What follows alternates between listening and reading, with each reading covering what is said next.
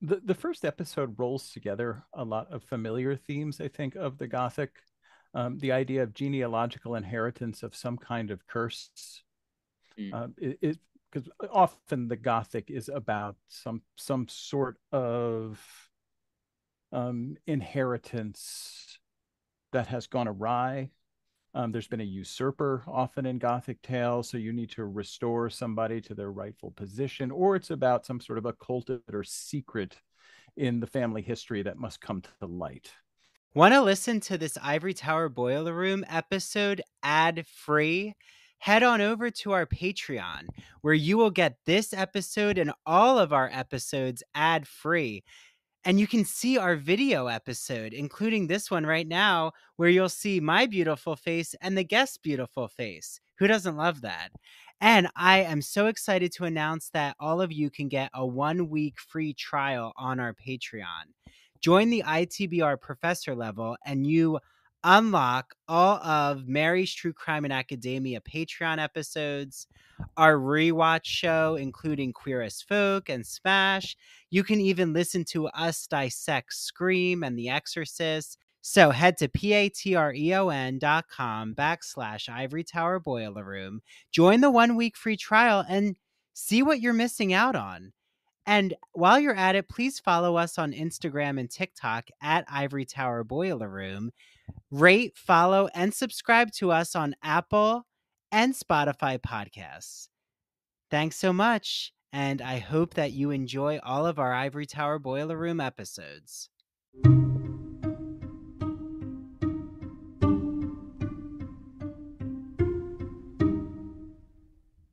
Hi, everyone. Happy day after Valentine's Day. I'm so excited for this Gothic Valentine's episode. So, Dr. Jeffrey Andrew Weinstock comes back on the podcast. If you haven't listened to his episode about all things horror, gothic literature, pop culture, you need to listen to that. That was about a year ago from Broadview Press. And then James Yeary comes on the ITBR, and you just listened to an episode with his girlfriend, Brooke Walsh, who has Brooke Walsh Photography on Long Island. And we talked about Britney Spears with her. So I hope you enjoy this episode. You're also going to hear a special Valentine's themed ad from our sponsor, The Soapbox, which is in Port Jeff Village. It's a bath and body boutique and happening on February 25th at 4 p.m. at Burrito, which is a beautiful, I always call it the Miami of Port Jeff Village restaurant. It's a really nice Mexican restaurant we are having a reality TV trivia night event at 4 p.m. $5 in advance. You can get tickets on ivorytowerboilerroom.com in the events section. There are going to be happy hour specials, gifts from seven different Port Jeff Village and Setauket area businesses. So if you know anyone who's on Long Island, please spread the word. It is Apparito and it's going to be about two hours. Please get a group of your friends together. Make it an early dinner or, you know, an afternoon snack with drinks. There'll be some people from the Bravo universe calling in for trivia questions. So I can't wait for you to see who's going to appear. And then on March 3rd on Zoom, we have our next book club. So we are discussing Leah Remini's Troublemaker. That was the Scientology expose that's happening at 4 p.m. Head to ivorytowerboilerroom.com.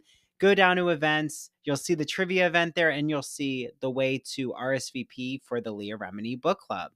Okay, that's all I have to report, and I can't wait for you all to hear this episode. And welcome back to the Ivory Tower Boiler Room. Love and Gothic TV and literature is in the air.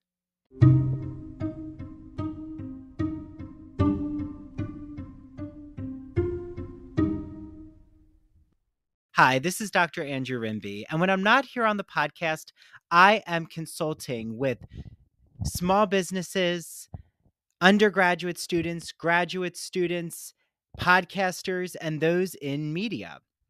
So, if you're curious about the work that I've done with my consultation services, you could just type me in on Google, Ivory Tower Boiler Room, and you'll see a few reviews pop up. I've worked on college admission essays for undergraduate students. I've revamped and expanded a small business's social media marketing campaign right here in Port Jefferson, New York. And I've also worked on a graduate student's thesis for her physician assistant program. So if you want to seek me out or inquire about my consultation services, just email me. That's the easiest way to reach me at ivory tower boiler room at gmail.com. That's easy to remember. And tis the season for college admission essays, both undergraduate and graduate, thesis writing, dissertation writing. Um, do you want to create a podcast and you don't know where to begin? Media work, um, how to open a TikTok, how to start creating videos on TikTok, what to do with your Instagram. All of that I have done. So just reach out to me. When you need mealtime inspiration, it's worth shopping Kroger, where you'll find over 30,000 mouthwatering choices that excite your inner foodie. And no matter what tasty choice you make, you'll enjoy our everyday low prices, plus extra ways to save, like digital coupons worth over $600 each week. You can also save up to $1 off per gallon at the pump with fuel points. More savings and more inspiring flavors make shopping Kroger worth it every time. Kroger, fresh for everyone. Fuel restrictions apply. Hi,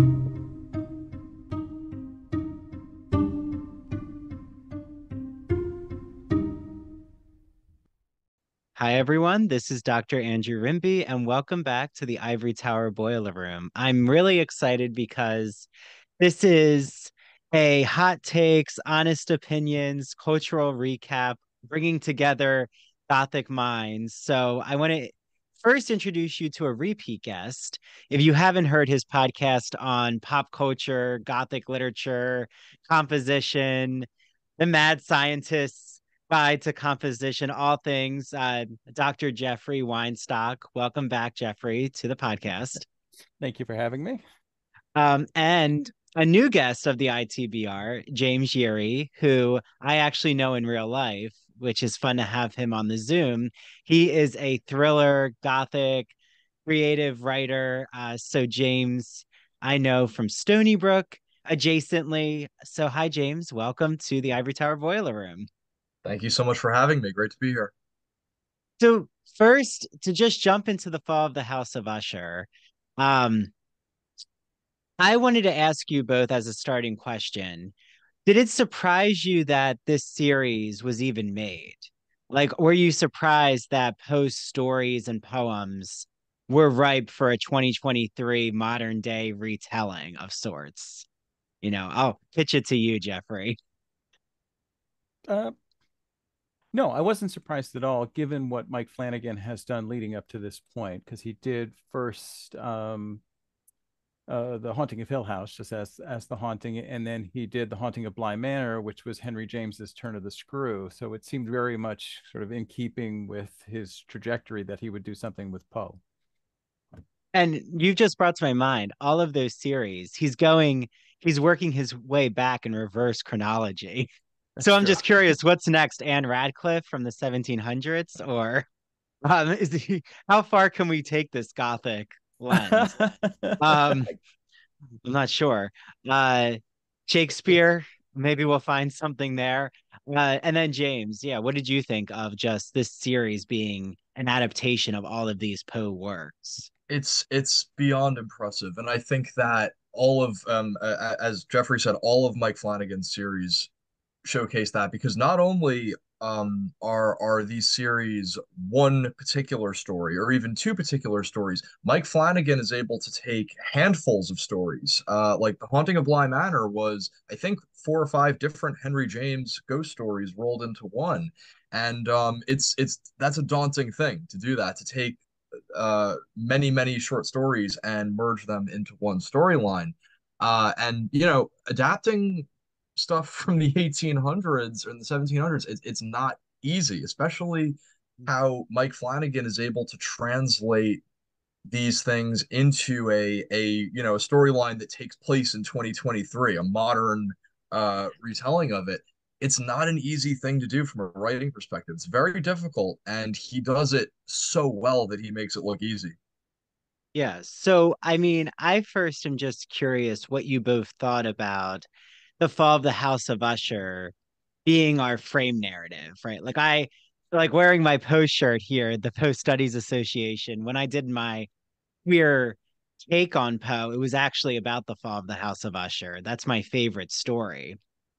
Um, and I was more interested in like the narcissistic lens of the narrator and Roderick and um, what could be going on between their intimacy, which isn't really focused on here. Um, I mean, it is interesting to me that the detective is um, queer, like is gay, but we like, kind of get that in a reference. Um, but all of that aside, like why the fall of the House of Usher? Like, do you this make sense for both of you as a frame narrative, uh, Jeffrey? I had a lot of anxiety going into it, mm-hmm. um, both because I think Flanagan in the past has had a tendency to sabotage himself as he gets near the ends of his series, which I can mm-hmm. go into more detail if you want. Uh, what he did Please. at the end of, of um, The Haunting of Hill House was nine tenths superb Mm-hmm. And that 10th episode, just I, I was so angry at that ending that I was literally shouting at the screen when it, it changed. He changed the famous line, whatever walks there walks alone, to it being a kind of family reunion that felt mm-hmm. to me like a complete betrayal of what Jackson had done with Hill House. And, and similarly, I was not thrilled with the conclusion of Midnight Mass, where he again kind of descends into these endless monologues. It, it ceases to be driven by plot and it becomes a lot of exposition and just a lot of talking. Mm-hmm. Uh, and I was also anxious about it because of the connection to Poe. Um, as somebody who teaches Poe, writes about Poe, I was a little concerned what he was going to do with Poe.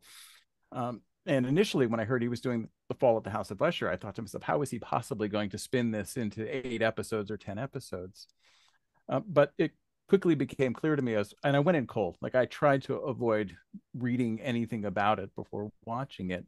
That he was using that idea of Usher as a kind of frame narrative um, uh, uh, to loosely string together different Poe's stories.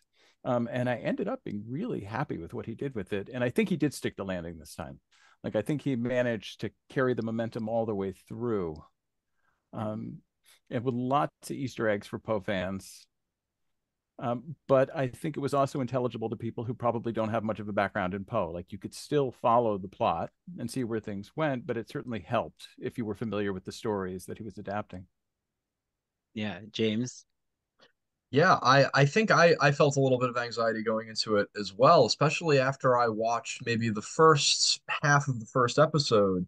Um, because I had that voice in the back of my head that, you know, uh, watching trailers for it and sort of the buildup, uh, I was being a little selfish and was thinking, well, uh, I really want them to set this in the 1800s. That would be so cool to have it be a period uh, piece where it's it's it's you know set in in Edgar Allan Poe's time in the you know the mid uh, 1800s. So I had that part of me that was being a little selfish and was like, ah, I don't know if I love this whole sort of succession uh, aesthetic of these, you know, these wealthy people with, you know, running PR campaigns. I was like, ah, I don't know. Um, but then, uh, like like like Jeffrey said, as it as it moved along, I I sort of settled in and started to really appreciate it, and I I had to almost force myself out of that um, mindset of expecting it to be well in the 1800s because Poe stories are in the 1800s, and um, you know, uh, I had to remind myself that it is based on these stories and is not a a concrete replay of these stories. And once I was able to do that and separate it and think, well, this is based on Poe's work. Mm. Uh, I started enjoying it a lot more. And then once I got through the episode two, episode three, I really settled in and started loving it.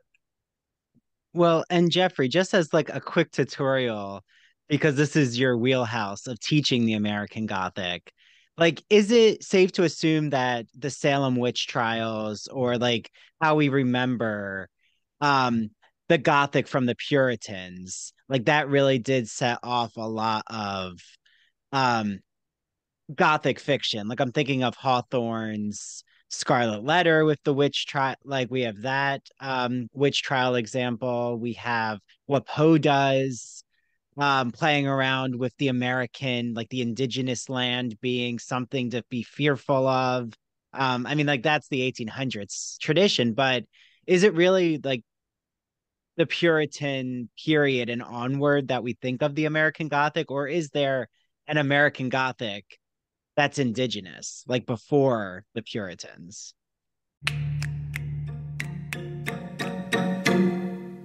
So, you all know that I am such a fan of musical theater and classic movies. So, I can't wait for you all to listen to one of my good friends' podcasts. It's called That Old Gay Classic Cinema, hosted by Christian Garcia. It's a podcast that looks at classic cinema films that we know and love.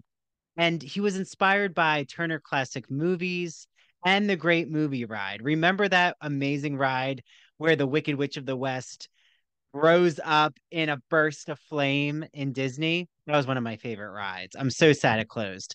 So, while looking at classic films, Christian is so excited to look at it with a queer lens. And he brings on friends like myself to talk about all of these films.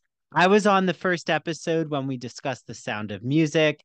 I've been on an episode of Alfred Hitchcock's Vertigo. He just released an episode about the Philadelphia story. He's done Meet Me in St. Louis, Sweet Charity, Psycho, Mary Poppins, Hello Dolly. He had on Down the Yellow Brick Road hosts and the Garland Gab hosts to talk about The Wizard of Oz. So make sure that you listen to That Old Gay Classic Cinema on Apple and Spotify and follow him on TikTok and Instagram at That Old Gay Classic Cinema okay, start watching the classic movies and make sure you listen to Christian's podcasts. Are you a fan of LGBTQ plus books, plays, movies, TV shows? Well, then I have the magazine for you. It's called The Gay and Lesbian Review. The GNLR is a bi monthly magazine of history, culture, and politics that publishes essays in a wide range of disciplines, as well as a slew of reviews of books, plays, and movies. Each issue brings you consistently intelligent, lively, thought provoking articles focused on a unifying theme, and it brings together the leading minds on the topic. So I just had on Dr. Richard Schneider Jr., the founder and editor in chief of the GNLR. For the GNLR's 30th anniversary, happy birthday, GNLR. Dr. Richard Schneider talked about their special volume called Outer Appearances More Faces from the Annals of the GNLR, illustrations by Charles Hefling. They cover current LGBTQ artists such as Harvey Fierstein, Melissa Etheridge, Alan Cumming, James Whiteside, Alison Bechdel, and even David Sedaris, and of course, many others like Stephen Sondheim. There's even a supplemental issue that comes with your commemorative volume. And Andrew Holleran, the writer of Dancer from the Dance, he reviews a book called Maurice about E.M. Forster's Maurice, written by one of our ITBR guests, David Greven. So we can't wait for you all to experience this beautiful 30th anniversary GNLR issue. Have you heard some of my GNLR interviews, including Dr. Andrew Lear's discussion about male male love in ancient Greek society and Ignacio Darnaude opening and blasting the closet door in the queer male art world? Well, definitely make sure you listen to them after this episode. Head to glreview.org. Make sure you subscribe to their magazine. You'll see there's a section that says subscribe at the top. Enter the promo code ITBR50. That's ITBR50 to receive 50% off. 50% off any print or digital subscription. Enjoy your reading. The way that I would think about it is when you're dealing with the Puritans, it's kind of like the Gothic prehistory. Mm. If you want to talk about the Gothic novel per se in the United States, it typically is associated with Charles Brockden Brown as kind of the father of the American Gothic, who became an influence on Poe, who then begat H.P. Lovecraft, and so on. Um, but a lot of that sort of mindset is something that I think is inherited from the Puritans and their insistence that uh, the supernatural is real and it it sort of we um, and it's intrusive um, that it's part of our existence. Cotton Mather in Wonders of the Invisible World starts off by saying, Nobody can doubt that we have a hundred um, preternatural things before our eyes every day. Um, so, and for the Puritans, it was just trying to make sense of things because nothing happened in the universe without God's explicit permission.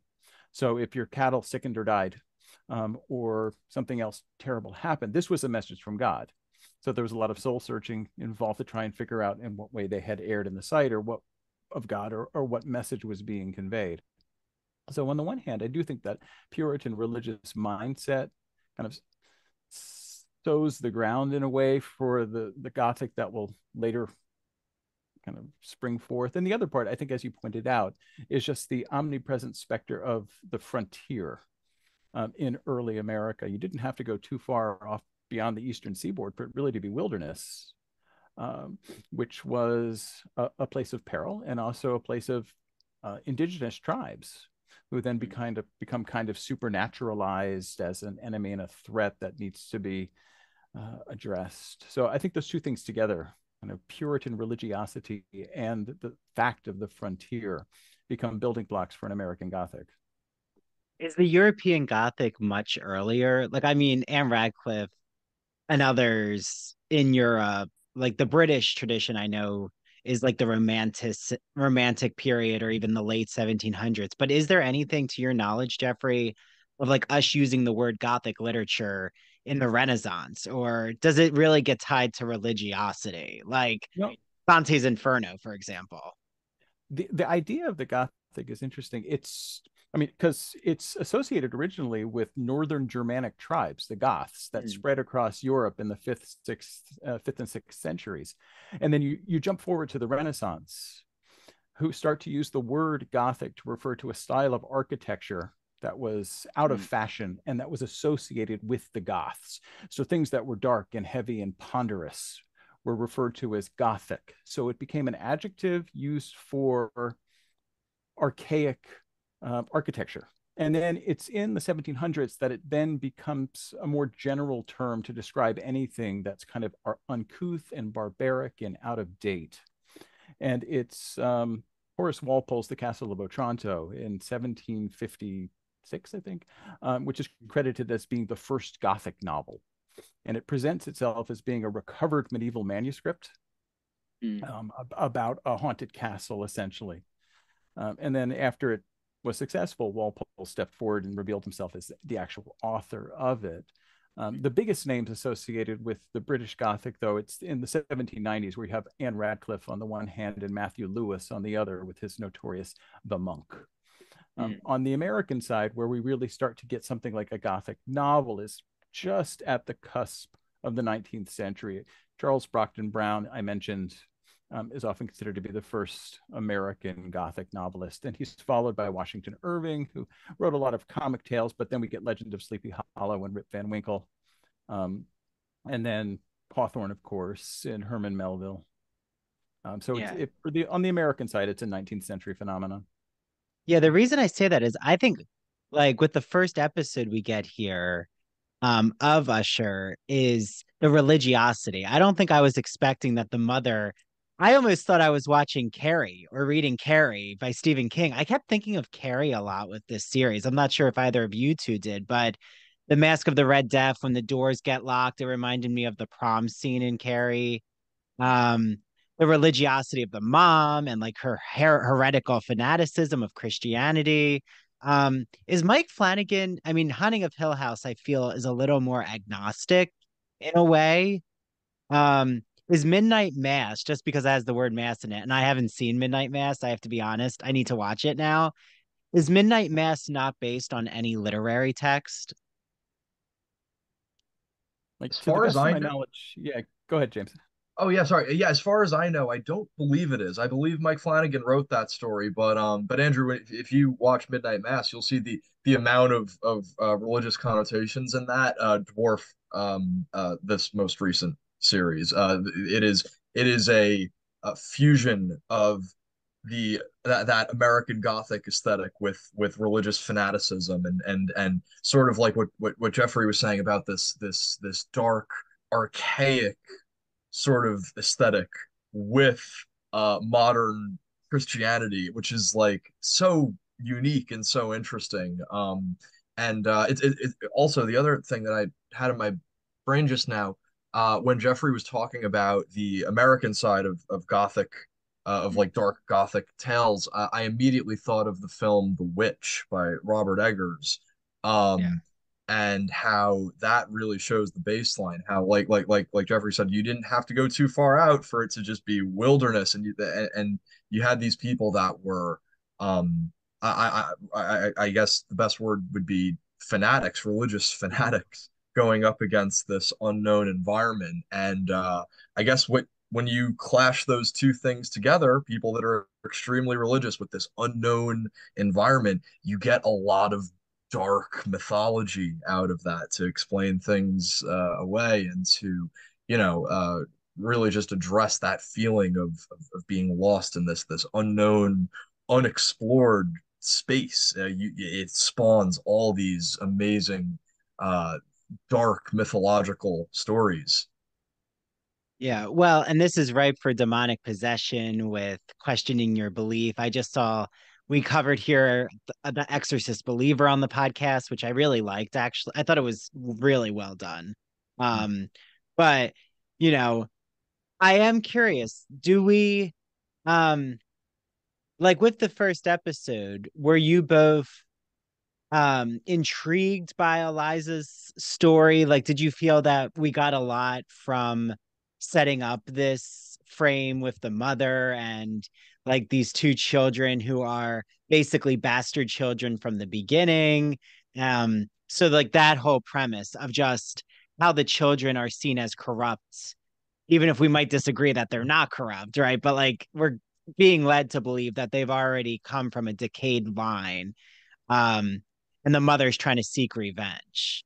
Um, so yeah, Jeffrey, this first episode the the first episode rolls together a lot of familiar themes i think of the gothic um, the idea of genealogical inheritance of some kind of curse mm. uh, it because often the gothic is about some some sort of um, inheritance that has gone awry um, there's been a usurper often in Gothic tales, so you need to restore somebody to their rightful position, or it's about some sort of occulted or secret in the family history that must come to light. So there's that part of it, and the other part, as you're pointing out, is the religious fanaticism part, which speaks to these these two forces that are always at loggerheads in American culture. Um, on the one hand, is that legacy of religious fanaticism going all the way back to the Puritans, but on the other hand, is the whole Enlightenment rationalism of the founding fathers, the idea that there should be a bulwark between church and state. Um, I often sort of correct my students who think that the founding fathers were all evangelical Christians, and they absolutely weren't. They, they were Enlightenment rationalists who were very concerned about the power of religion uh, to distort perception of reality, um, and really wanted guys like Thomas Jefferson, for example, really wanted to sort of keep that at arm's length, or Benjamin Franklin famously. Um, there's an anecdote of Franklin where he went to hear a preacher in Philadelphia and he didn't hear a single practical point. Like he didn't hear anything that was calculated to improve life for people who were here on this planet. And he decided he wasn't going to going to go to church anymore. He would just use Sunday as a day to to read um, and, and to basically uh, expand his knowledge base. So, um, so that religious fanatic part is there, and I think that genealogical inheritance part is there. Uh, it kind of sets things in motion, um, and I think you're right actually to make the connection with Carrie too, uh, which is certainly playing on that. Um, and, and Stephen King, like there, there is no worse villain in any of Stephen King than a religious fanatic. Yeah. Um, and you can sort of turn to a whole bunch of different stories. I was thinking about um, the Mist recently, and I'm trying to think of the name of, of the religious fanatic in the supermarket there, uh, who's just just awful. Anytime there's a religious fanatic in Stephen King, um, you know, the person is warped. so, yeah. so that connection with Carrie, I think, makes good sense. Well, and that genealogy, you just had me think about, like, out there before like the t- word gothic and i'm so glad you gave us that foundational history jeffrey um like this return it's almost like begging the question about blurring the lines between life and death, like returning to the grave or returning to birth. And I'm also thinking about fairy tales because like genealogy and curses are at the root of so many fairy tales. I'm thinking of Sleeping Beauty and the spindle and like that she's going to have to die um when she touches it but then she falls into a sleep and then she's saved by a prince so like fairy tales always have the savior mentality usually with a prince but we don't get that in this scenario right? So it is pretty um hard to distinguish fairy tales from gothic tales would you say jet like you could have gothic fairy tales. Oh absolutely. or are or um, are fairy tales always gothic like hansel and gretel? I don't know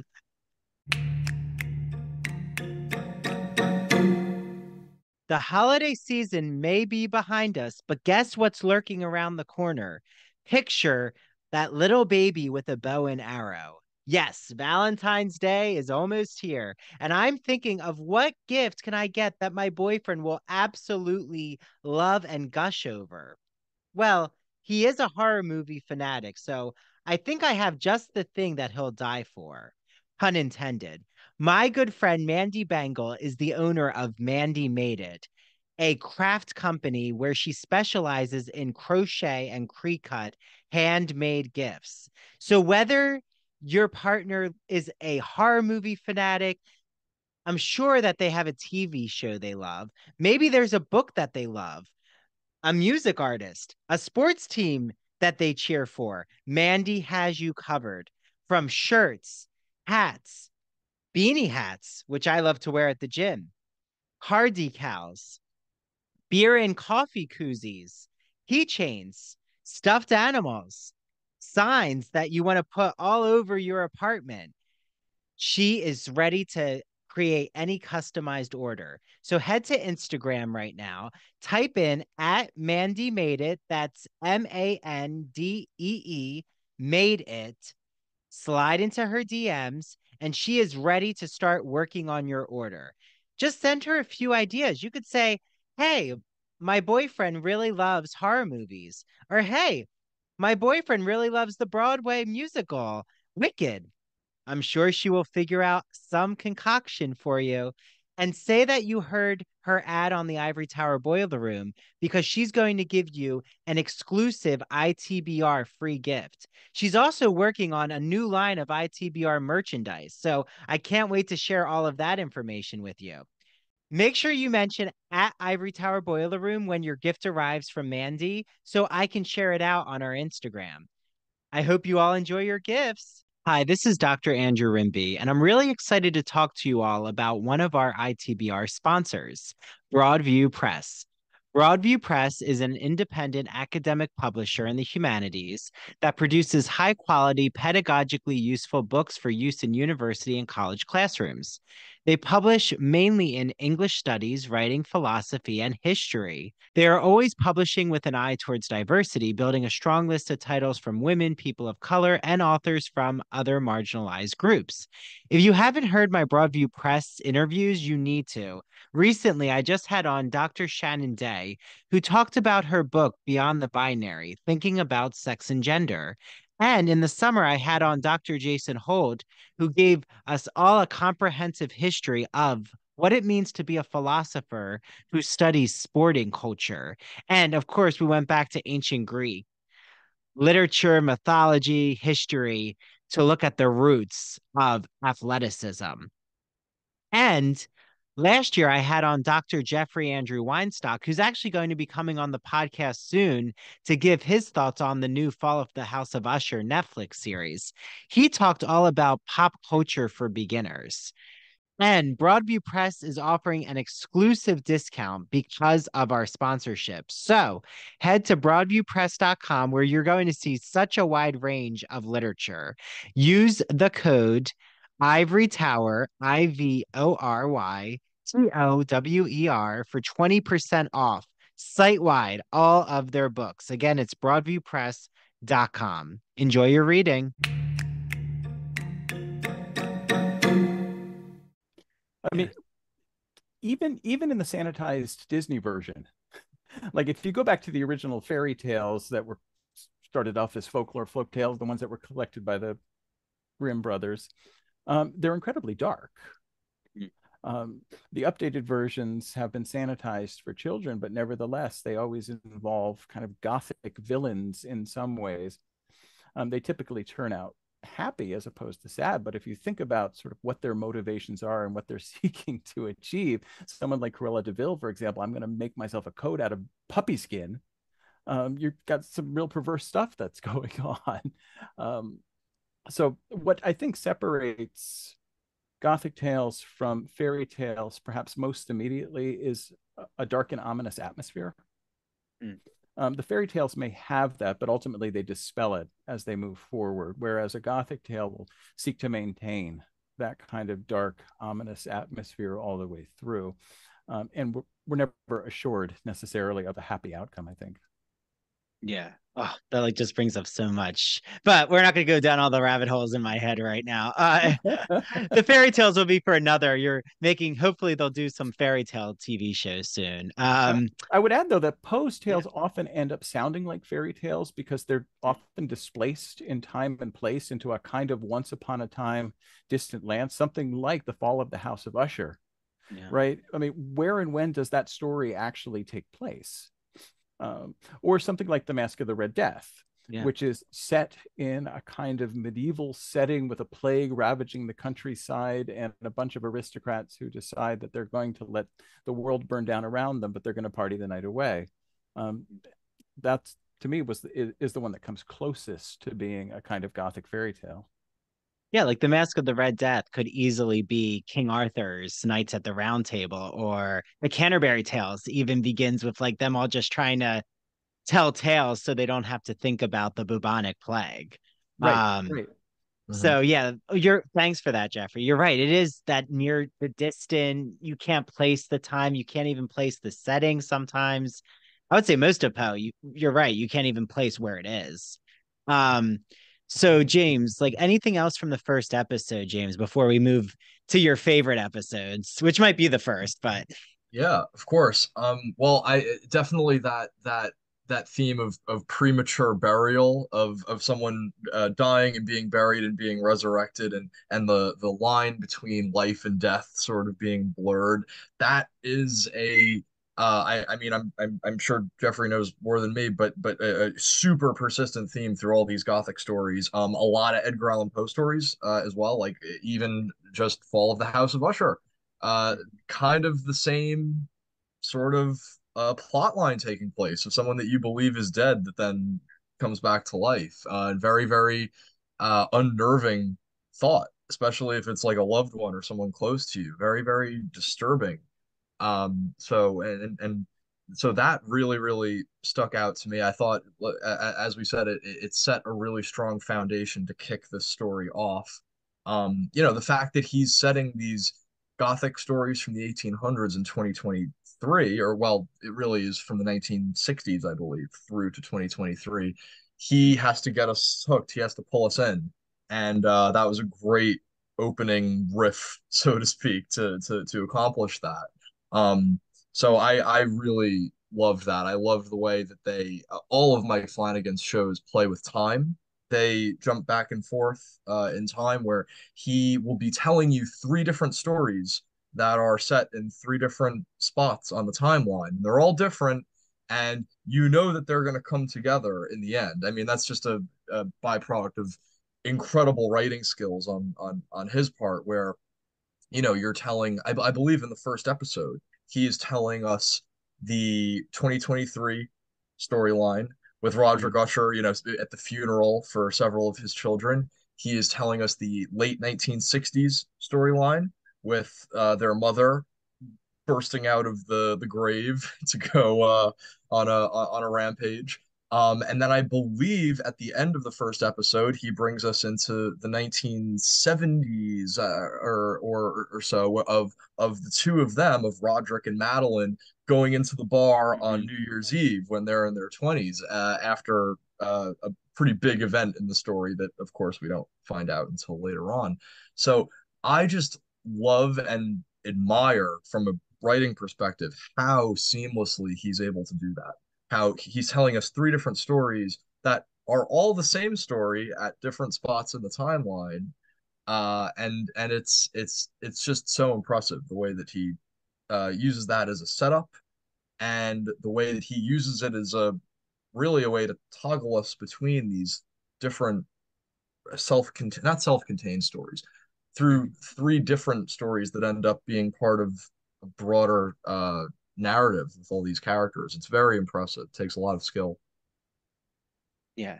Well, and I feel that Jeffrey, have you assigned this? I mean, it's so recent, but would you assign or are you going to assign any of these episodes? Because I do feel that Mike Flanagan is giving us like you've already said, a seminar in 19th century American Gothic because I kept thinking of Hawthorne's definition of romance, which is where the real and the imaginary meet. And I was thinking of Rappaccini's daughter, which is one of my favorite Hawthorne tales, or the birthmark. And but Hawthorne, I feel, is always invested in the Garden of Eden going awry and like gender relations in a way where Poe, I think, is doing something different. Um, but you know, that might just be my take. What do you think, Jeffrey? The difficulty with a mini series, if you're using it for a class, is it's hard to just take one episode. Um, mm-hmm. It's something I would like to bring in if I could, but it's really hard to just do a little piece of something. But the one of the differences between Poe and Hawthorne that I think you're right to focus on is Hawthorne had aspirations to literary greatness and was relatively wealthy, so had opportunity to kind of hone his craft and try to create something that he thought would stand the test of time. Poe was perennially in need of cash. Um, so he wrote quickly and attempted to capitalize on various trends and anxieties that were circulating in antebellum American culture. So something like The Mask of the Red Death seems like a kind of timeless allegory until you hmm. realize the number of people around Poe who died from tuberculosis, um, which symptom is coughing up blood. So the Red Death was rife in Poe's time and circulated around him. Um, premature burial, which is a recurring motif in a lot of Poe stories, was a weird preoccupation of 19th century American culture writ large. Um, I think even in the 19th century, people had sufficient medical knowledge most of the time to figure out whether somebody was alive or dead. Uh, but in the same way, today, everybody has heard about alien abduction narratives without necessarily giving credence to them. In the 19th century, everybody had heard about people being buried alive. Uh, so there were certain entrepreneurs who capitalized on this by creating ways that if you found yourself in a coffin, you could alert people above ground. The easiest one was a, a, a little tube that went down into the casket and had a string that was put into the uh, the corpse's hand and there was a bell above ground. So if you woke up and you could sort of tug on it to alert somebody. Um, but there were more sophisticated versions of this where you could let somebody above ground know. There was a speaking tube that was another version.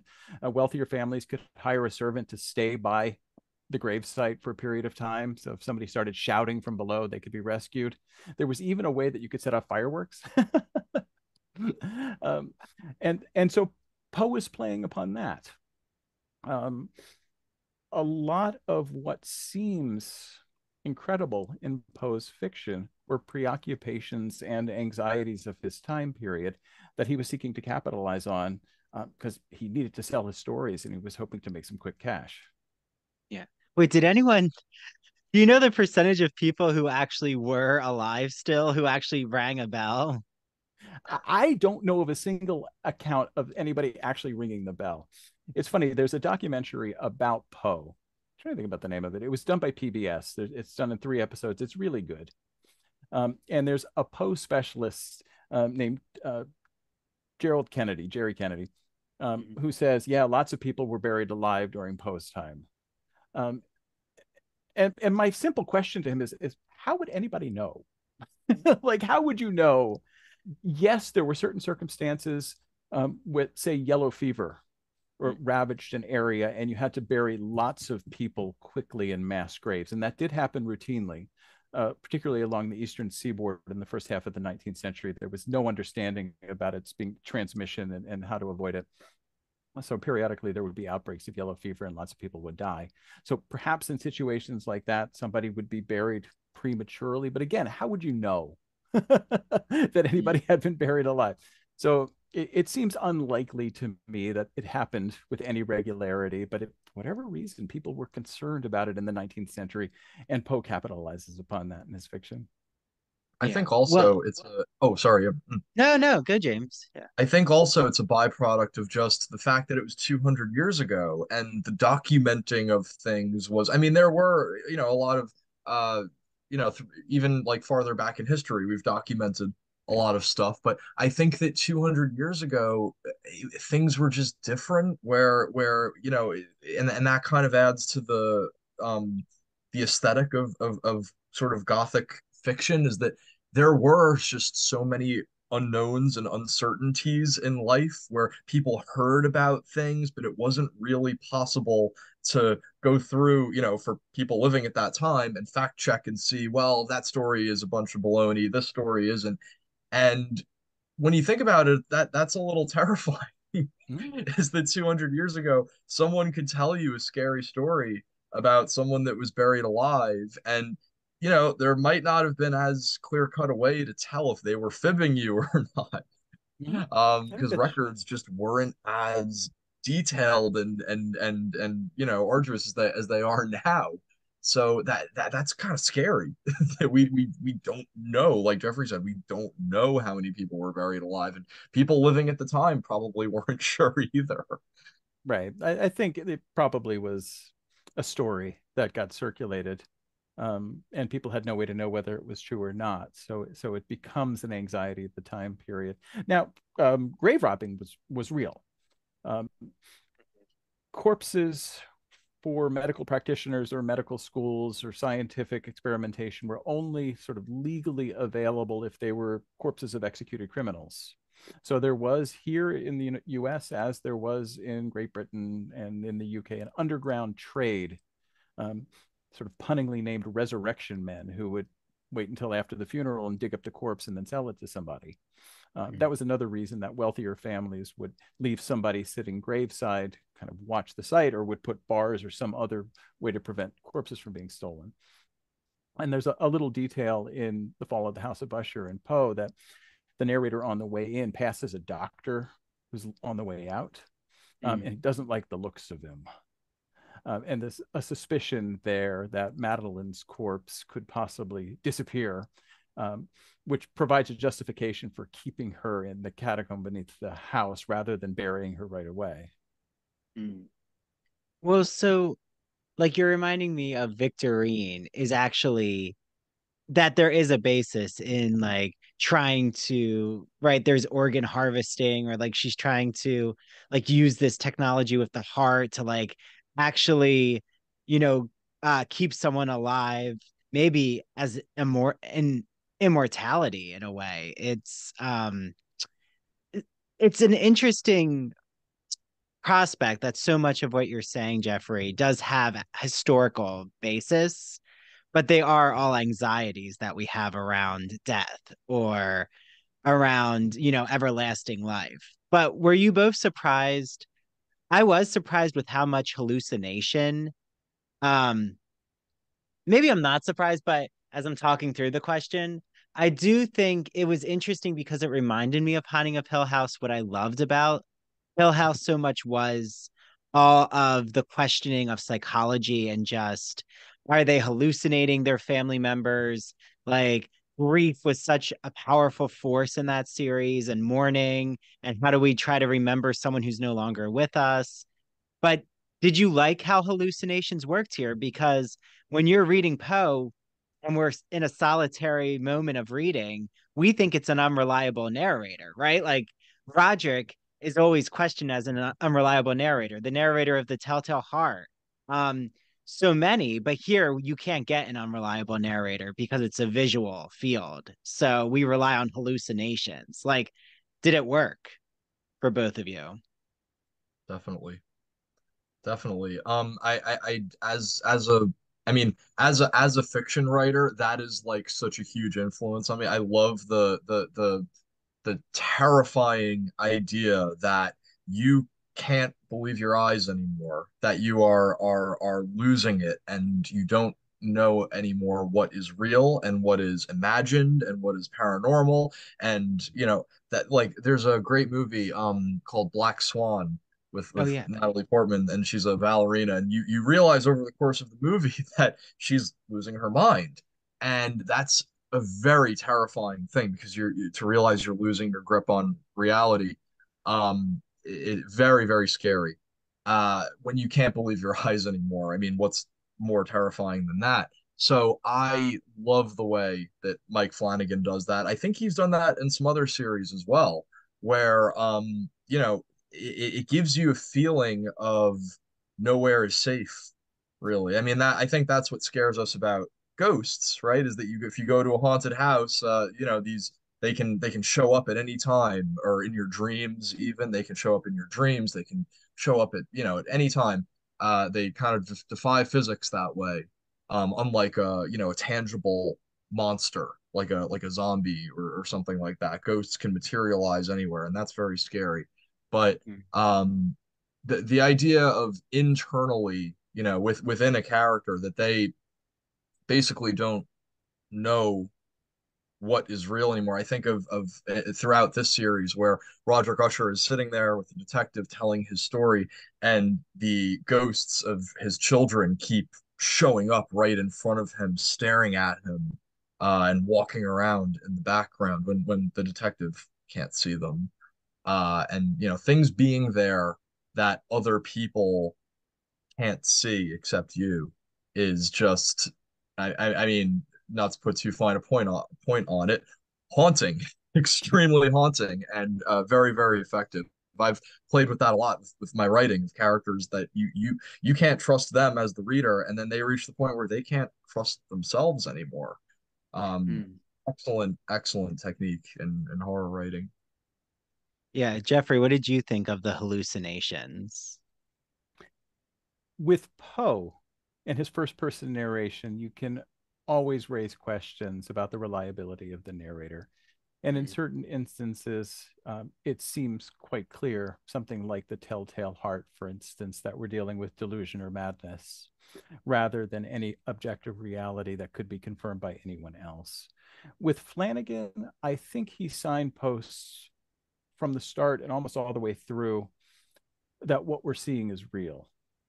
Um, I at no point did I really find myself doubting whether the hallucinations represented some kind of objective reality.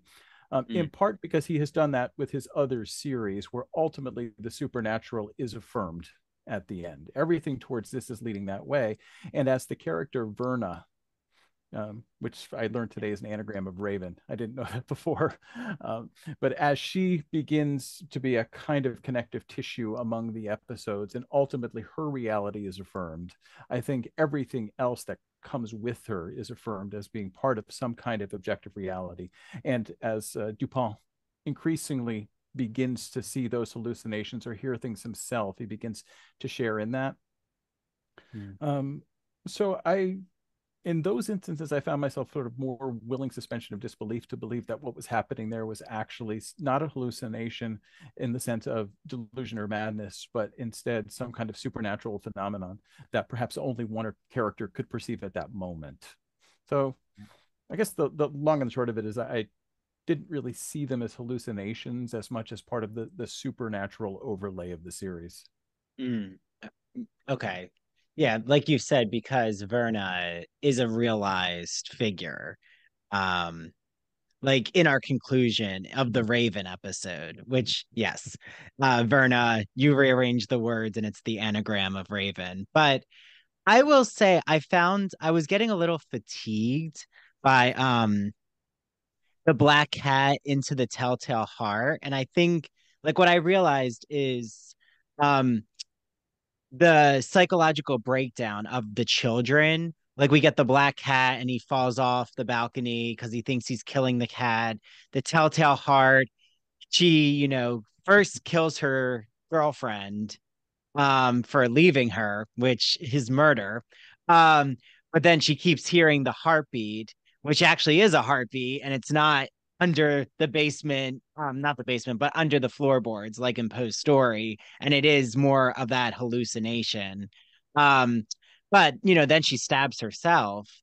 Even like, I guess I think maybe they feel like they're hallucinating at times, or they're questioning their own reality. And then the gold bug, I think is probably our most intense one where she actually thinks that the woman is in the crowd and then the woman is her because she enjoys like that fetish of like you know her husband being with these different women who are reenacting roles that she wish she could do in her own life. Um so I was my only critique probably of this series is that I feel the way they lined up the storylines was getting a little redundant for me. Like I'm like, okay, the black cat, the telltale heart, and the gold bug. Like it all was self-inflicted, um, driven by their own delusions that they're believing.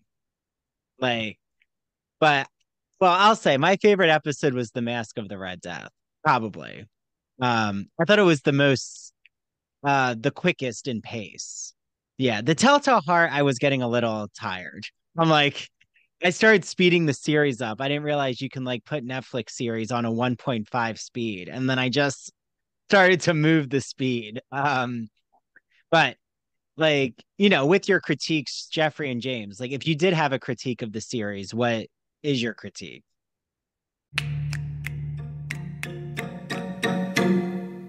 Happy Valentine's Day, everyone. I'm here with Janine, the co-owner of the Soapbox NY located on Long Island. It's a bath and body boutique. And Janine has selected curated Valentine's items great for that special man or woman in your life. They're all gender neutral products. So Janine is going to get us started with her products. Sure. This is our Finchberry line. They are right out of North Florida. They're a gourmet soap company. The soap I selected to show you today is one of my favorites. This is called Garnet. The scent is grapefruit and lily. This is a beautiful soap that you can use for your hands or body. Their line is vegan. They're all natural. And the scent is just lovely. For men and women, they both love it. The second product I'd like to show you is by a company that we also love called Primal. This is their newest product. It is a sponge bar. This soap is glycerin, uh, natural vegetable based soap, and the best part about it, it has a natural sea sponge in it, which is biodegradable. The more you use the soap, the softer the sponge gets. It is wonderful for the body, for the face. Um, this soap happens to be aloha scented, but it also comes in three other scents. It is just beautiful. I'd also like to tell you about Mistral. This is one of our French lines. This soap is shea butter based and olive oil based, so it's extra luxurious. Gives you such a nice creamy lather. It's triple milled, so it's super dense and rich, and it lasts you a super long time. Andrew, I think you have some other products. I have one of our favorite companies, Farmhouse Fresh, which um, some of the proceeds go to animal rescue, which we just love. So I have here one of their face masks. It's called Sanded Ground. It is a clarifying mud exfoliation mask made with real red Arizona clay. Great for removing toxins, really great for that dry skin that we get in the winter. I'm talking to the guys out there because you don't always use face masks, so I'm always advocating, like myself, putting a face mask uh, regimen just into your skincare routine. So Farmhouse Fresh. And then I have here Beekman 1802, a New York based company around since 1802, hence the name. It's called Fig Leaf. It is made with goat milk lotion enriched with lavender oil, a great hand and body lotion, very moisturizing, and they actually use fresh fig leaves for the aroma. So we hope you all just have a wonderful Valentine's Day. The Soapbox and NY has great gifts for men, women, you know, even after Valentine's Day, make sure you stop by if you live on Long Island. It's located in Port Jefferson Village. Also, you can call them. What is the number, Janine? 631 509 1424. Make sure you follow them on Instagram and TikTok at the Soapbox NY. You can DM Janine and she'll put together a customized Valentine's gift for you. Okay, enjoy your Valentine's, everyone. Happy Valentine's Day. Thank you. LGBT stories are universal, but each one speaks to the individual heart and soul of the writer telling it. Do you have a story to tell? Or have you been moved by an LGBT book, film, painting, television show, or other form of media? Then the Gay and Lesbian Review wants to hear from you. The GNLR believes in bringing awareness to queer art and artists through reviews, commentary, and thought pieces in which the author relates their personal lives to a particular piece of art, a novel, a movie. In addition to the print magazine, the GNLR also publishes articles on its blog. So you can see all of this on glreview.org. That's G L R E V I E W.org. Remember, you get 50% off your subscription of the GL Review magazine when you use the promo code ITBR50. That's 50% off your print or digital subscription when you use promo code ITBR50. To learn more about submitting an article for the GNLR, Visit their writer's guidelines. The link is located at the bottom of their homepage. And if you have any questions, email Stephen Hemrick. That's S T E P H E N dot H E M R I C K at glreview.org. The GNLR and its readers can't wait to see what you have to say.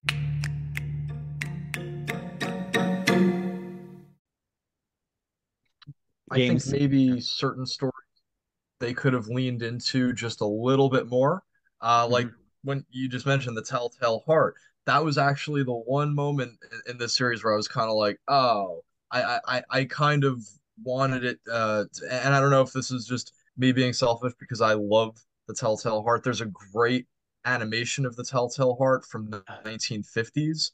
Um, that it has that cool like old school uh animated sort of effect to it. Um, I can send it to you guys on YouTube. It's amazing. Yeah. But I was kind of hoping that the Telltale Heart was going to be a little more uh, on the nose. That uh, it, you know, the body was going to be under the floorboards, or that we were going to actually act out her maybe going up to to a bedroom where someone is sleeping and committing the murder.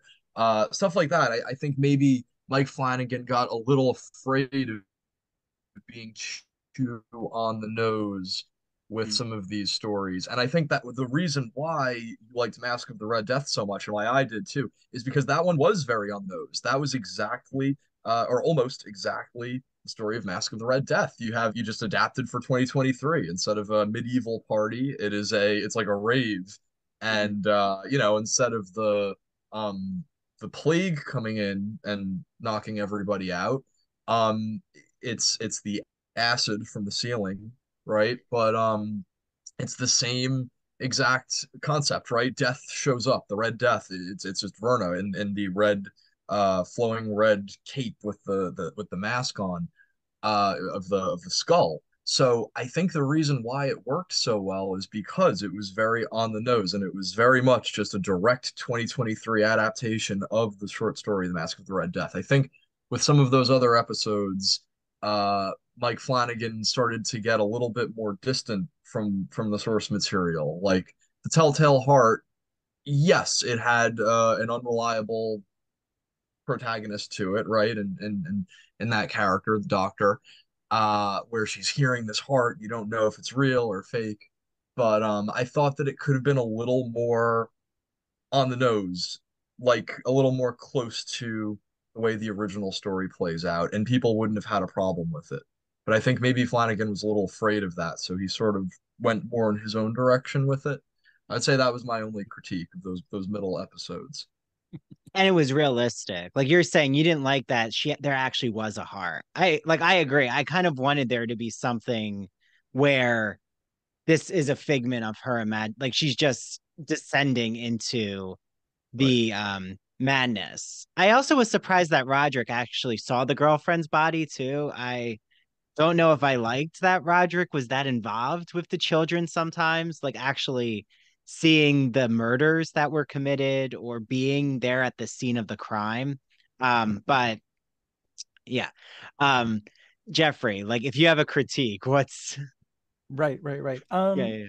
I I don't have major critiques of it. Uh, I, I thoroughly enjoyed the series, which was campier and more fun than some of Flanagan's more recent outings. I think he really was having a lot of fun with this one. Mm-hmm. Um, I like the Midnight Club, which came before this, which but you know it's a lot heavier in some respects. um, Midnight Mass was serious from start to finish, and this I thought was just quite a lot of fun. Um, I have, you know, I think the conclusion is a little heavy-handed with its referencing of the opioid epidemic and the implication of pharmaceutical companies. You, he gives you one of those final episode monologues, uh, just to make sure that you're getting the point of Fortunato uh, Pharmaceuticals. So maybe that could have been a little toned down. I think it, it does drag a little bit in the middle with the episodes that you're talking about, with the Black Cat and Telltale Heart. Um, once you've once the formula becomes clear, um, mm-hmm. after those first few episodes, it, it, drags a little bit before it then regains its tempo. I think uh, I'm I'm not bothered that they diverge from the source text in sometimes significant ways.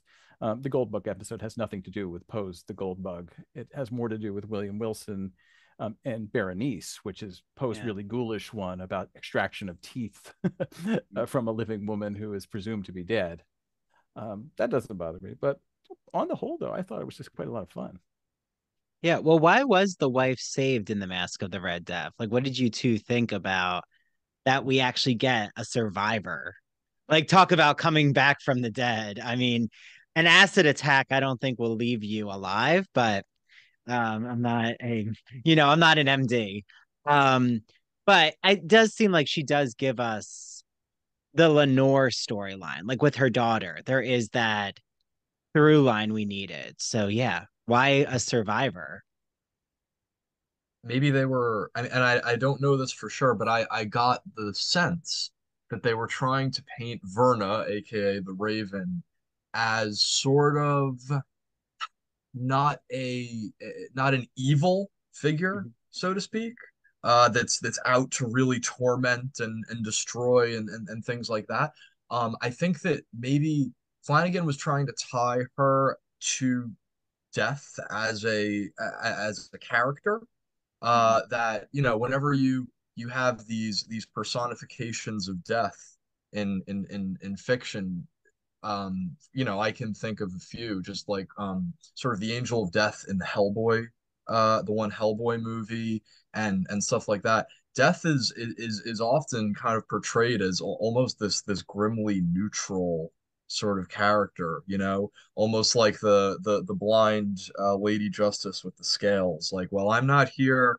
to make judgments i'm not here to to reap this horrible you know to, to torture people i don't decide who who lives and who dies mm. you hmm. know and, and i almost got that sense from verna where it, in a lot of the dialogue with her she doesn't come across as malicious she comes across more as a a a personification of, of death as the sort of neutral force that is when it when it comes for you it's going to come for you and you might die a horrible death you might die you know a peaceful death asleep in your bed.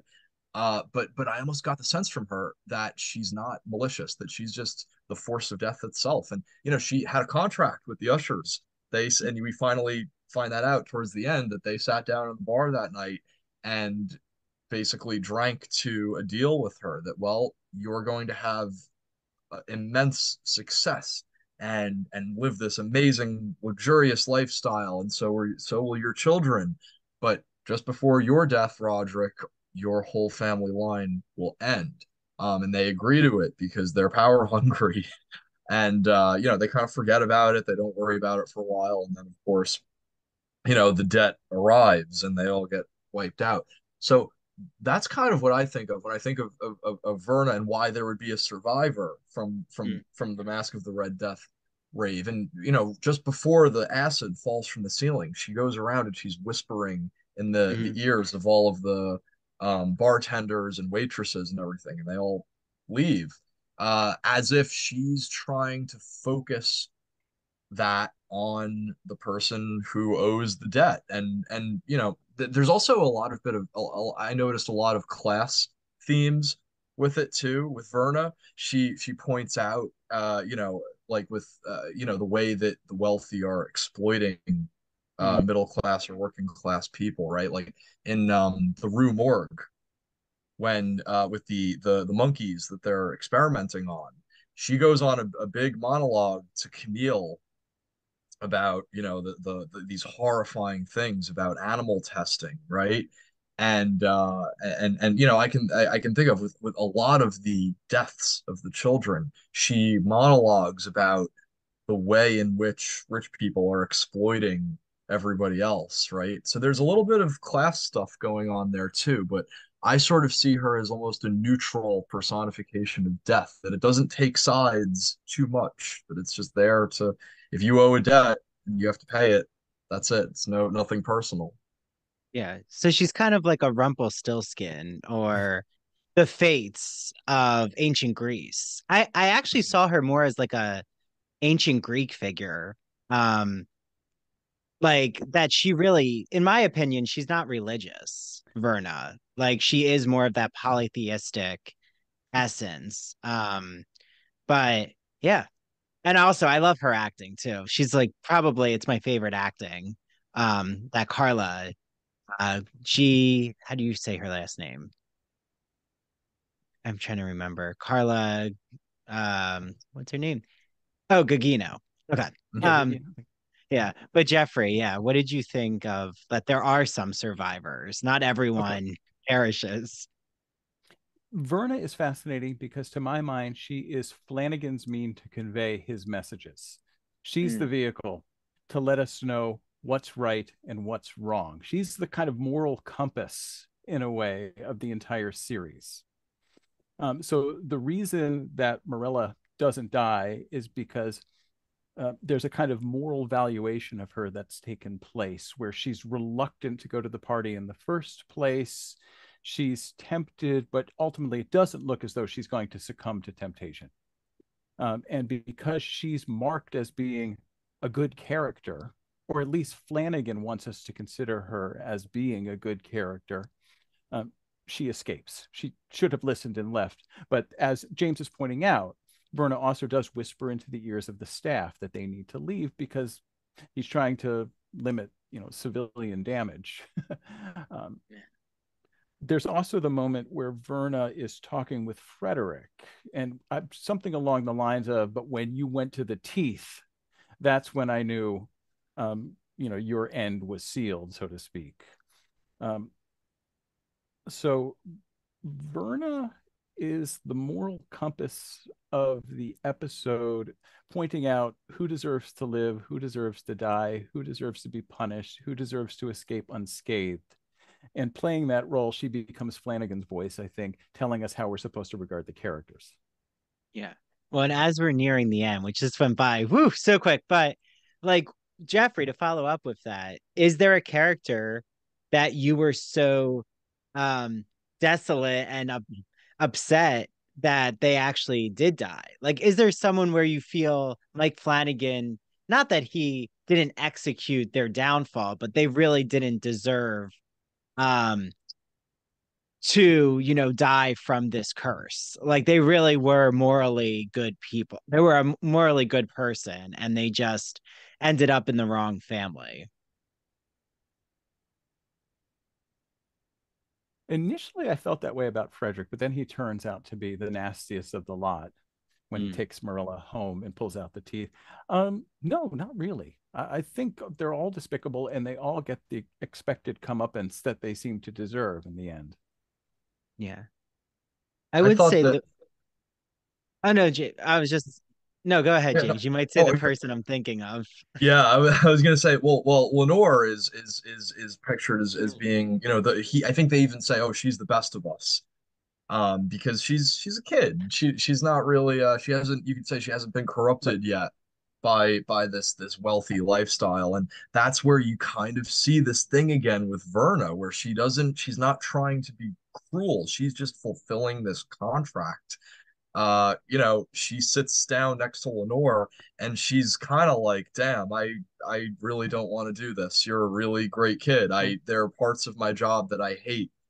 And she I think she touches her on the forehead and just instantly kills yeah. her. And then she she gets the the least amount of suffering with with her death. Um, so I I think I think that yep. kind of shows us with Verna is this like moral compass sort of person. Yeah, like she just gets put to sleep forever. Yeah. Um, Well, and I was gonna say, what was Tamerlane's biggest sin? Because maybe I'm just like misremembering, but like with her William Wilson, like the twinning, I don't know. I guess I kind of felt for her because she was um uh like so unfulfilled in her relationship. Like he seemed like a good, you know, husband or partner, but um yeah, I mean, I guess she was extremely like greedy with maybe pulling up the wool over everyone's eyes with the gold bug company. But yeah, I don't know. I guess maybe I just saw her doing this beauty industry uh you know, they connect her to Gwyneth Paltrow's Goop. So I'm like, oh, well, you know, she's not that bad compared to like, you know, pulling someone's teeth out or killing their partner. I was surprised. I thought that the like husband was going to come back or you know, something was going to um transpire with him, but you know, the the whole like mirror uh shattering, there were some really interesting um just effects that were done. I thought the effects were incredible in the series. Um but yeah, so Lenore, I guess we could all agree that she probably is the you know, most ethical one.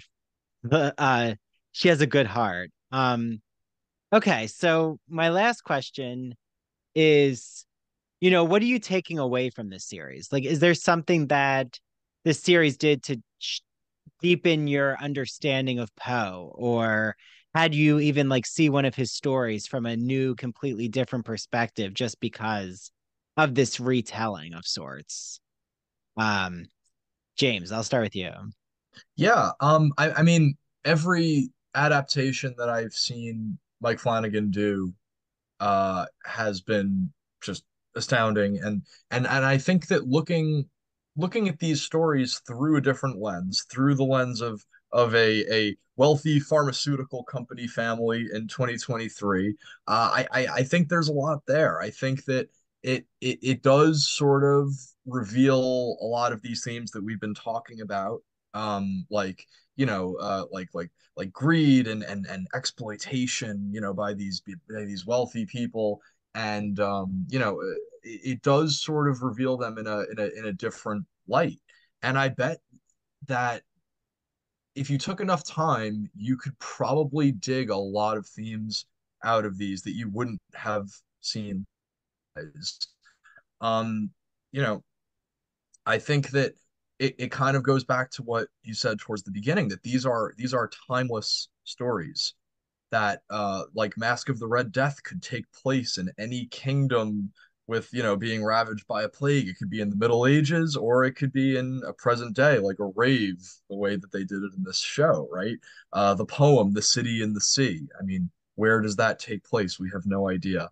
Um i i i think the biggest thing for me from from from watching this is just the way it shows how universal and timeless these stories are. And i think that that really shows edgar allan poe's incredible skill as a writer that he created these these these self-contained worlds that can be applied just as easily to present day as they did you know almost 200 years ago which is very very impressive. Hmm.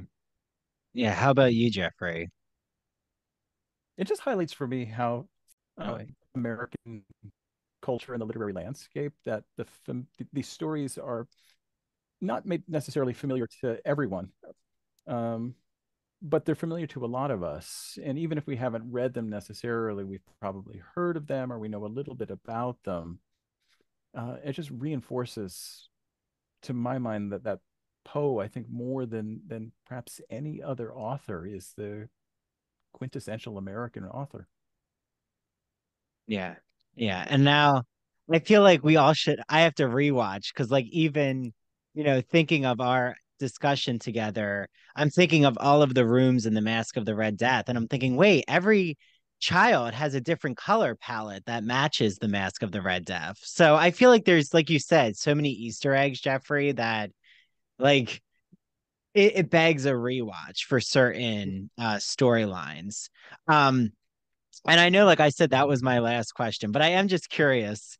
Do you think that um there is like a moral argument here in the episode. Like not episode, but is Mike Flanagan making almost a slasher film Halloween type argument that like if you go too far with excess or sexuality or you know wealth like there's always an excess. It kind of does seem almost as if it's a moral panic narrative. Like you can't go too much into pleasure because then the acid's going to fall on you. Like i mean is this just back to the basics of the like slasher film rules? I think I, um, I think it's it's probably back to basics for just the gothic genre overall. Because uh um you know i when i think of the gothic genre i i get that picture in my head of these these beautiful ornate castles that are kind of falling apart like dracula's castle right? Um i think that that that the gothic genre is really about uh excess leading to decay and and and and and and terror uh, so you know you, you see it with Midnight Mass, you see it with Bly Manor and and the Midnight. Well, maybe not as much with the Midnight Club, but with um a lot of Mike Flanagan's adaptations, you see it's it's that basic gothic idea of excess that then becomes decay, uh, and which is very very scary. Like these, like I said, these big you know ornate castles that are in ruins that have like monsters and ghosts living inside it's uh it's very uh, back to basics gothic, and I, I, I love that so much. It, it has a moral component to it for sure. Yeah, Jeffrey, do you feel the moral the morality's heavy handed, or you can um, enjoy some pleasure here? Okay, so the Gothic to me is always fascinating in this respect. Uh, it's uh, Fred Botting, who is a, a, critic of the Gothic, who has called it famously the literature of transgression that it's always about people who overstep the bounds of good taste and morality and ultimately get punished for it.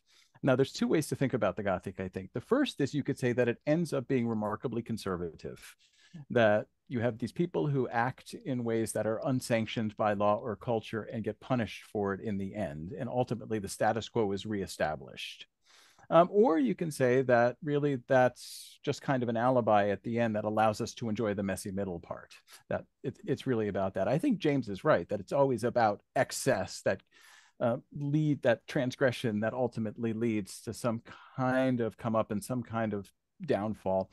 And it does tend to convey a moral message in the end, although often it's not terribly convincing. uh, it's there to kind of placate the guardians of good taste and morality when really the fun part is all the chaos and the excess in the middle mm-hmm. when everything goes off the rails right that's the part that we enjoy and then it gets wrapped up with a little homily at the end then it makes people feel better about the fact that you know they just watched people getting acid burning their faces away um, or be sliced in half by some kind of pendulum so yeah, yeah. so yeah uh, uh, it, it's the same thing as a slasher movie um, or any other kind of um, gothic tale that wraps things up and tells us, you know, uh, not to go too far for sure. Yeah. And I think, you know, for everyone out there, if you haven't read the play Dr. Faustus, I feel like this is a very Faustian um, making, you know, a bargain with um, a demonic type actually, I think it's the devil. So I could just say the devil. Um, I don't have to be too vague about it. Um, morality plays, yeah. So you both have just like provided so much gothic food to nourish on for us. Uh, so you know, thank you for the conversation. I, you know, can't wait to have you back on the Ivory Tower Boiler Room again. Let's see, you know, what my, Mike Flanagan does next. I'm curious. Um, so, Jeffrey, how can everyone follow you? You know, your website, uh, your social media, like anything you want to um, plug right now. You know, um, all the projects you're doing. Yeah, I have a, a sure if anybody wants to check out my website it, it's just my name jeffrey andrew weinstock.com wonderful um and you know jeffrey also has the society for the study of the American Gothic, right? Is that the full name, Jeffrey? Oh, you glitched out a little bit. What was the question? Oh, there? sorry. Um, and you also have the organization, your Gothic organization, right? How could people Yes, follow that um, on Facebook? Oh, okay, right. Yeah, it's um, we new organization, the Society for the Study of the American Gothic, which is a professional organization for people who write about, research, and teach the American Gothic. Uh, and you can look for us on Facebook. American Gothic Society is the name of the group. Wonderful. And then James, how can everyone follow you? Um, and I think you have a Of website course. too. I do, yes. Uh, my writing website is jamesyearywriting.com. Uh, that's James, and my my last name is Y E A R Y. So jamesyearywriting.com. I have uh, a short story collection and a novella out right now. Um, and I have a new short story collection coming out probably sometime next month. Uh, and on my website, you can read uh, some of my excerpts of my short stories uh, and and and such. And I, I try to keep uh, my readers updated on there. Uh, I also do have a story come out coming out on a podcast soon. I can't talk too much about it, but very soon, uh, a story that I wrote recently will be on a decently major podcast. So I'll be announcing that on my website. And uh, my Instagram is James underscore Yeary, except James has a Z instead of an S on Instagram. Great. And I have Jeffrey and James's links to everything in the show notes. So just go there, click, you know, follow them on social media. Um, yeah, this has been such a wonderful time. Maybe James, your next, if we see like your n- new novella is called Usher Reimagined, uh, give us credit Absolutely. anything from the conversation. No, no, no. But thank you, Jeffrey. Thank you, James. And um, yeah, I hope everyone out there enjoyed this series as much as we did. You know, we had some critiques, but I think overall we're major fans of this series. Um, so yeah, thank you both. And you know, bye to everyone out there listening.